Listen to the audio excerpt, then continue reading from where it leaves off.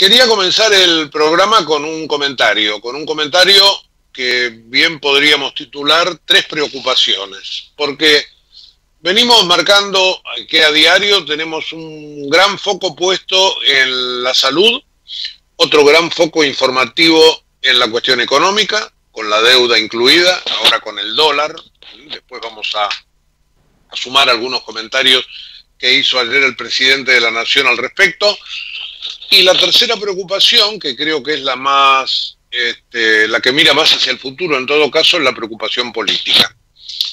Y esa preocupación tiene que ver con que ya desde hace un tiempo se nota que en los países que están gobernando sin, eh, sin tener el Congreso funcionando, entre paréntesis, hoy van a volver las sesiones, también después lo vamos a comentar, pero los decretos eh, presidenciales, eh, se da acá, se da en España, se ha dado en Francia, ocurre prácticamente en todos los lugares del mundo, pueden tener mayor o menor poder de acuerdo al grado de discusión que tienen eh, esas decisiones tomadas de apuro por la necesidad sanitaria.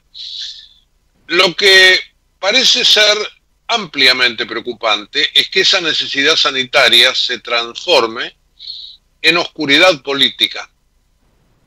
Porque si se gobierna a puro decreto solamente para tratar de, disfrazar la emergencia, para ser autoritarios y que las instituciones no funcionen, verdaderamente se está entrando en un camino bien pero bien difícil de transitar, sobre todo porque va a ser muy difícil de salir y porque le va a sumar a todos aquellos que pretenden que el autoritarismo se instale muchísimas, eh, muchísimos argumentos.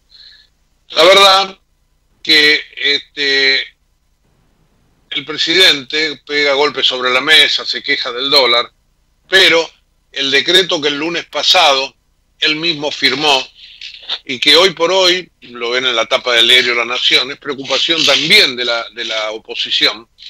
Este, y dijimos el lunes que era un decreto que le daba amplios poderes al jefe de gabinete. En realidad se los da a él mismo, porque el jefe de gabinete es este, su brazo derecho.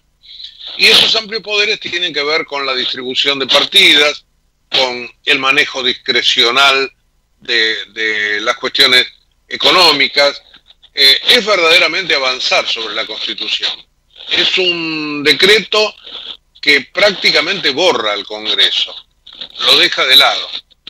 Y esa sombra de autoritarismo es lo que verdaderamente me parece que es de grave preocupación. Y es de grave preocupación también que haya un montón de gente cercana al gobierno que probablemente quiera aprovecharse de esta situación para imponer alguna ideología diferente, pensando inclusive en un cambio constitucional. No sería el momento, no sería la mejor situación para dar el debate. Eh, si esto se plantea mm, mano militar y verdaderamente va a ser verdaderamente grave para la República. De allí la preocupación. Eh, esto podría llegar a transformarse en una cuestión artera, en una cuestión eh, entre demencial y para fanáticos. Y me parece que el país no está ni anímicamente, ni humanamente, ni tampoco económicamente capacitado en este momento para este, avanzar al respecto. Ahora, si se quieren aprovechar todas esas debilidades para imponer un régimen, verdaderamente allí estaremos todos más que complicados. Bueno, de allí entonces las tres preocupaciones de este primer comentario del programa.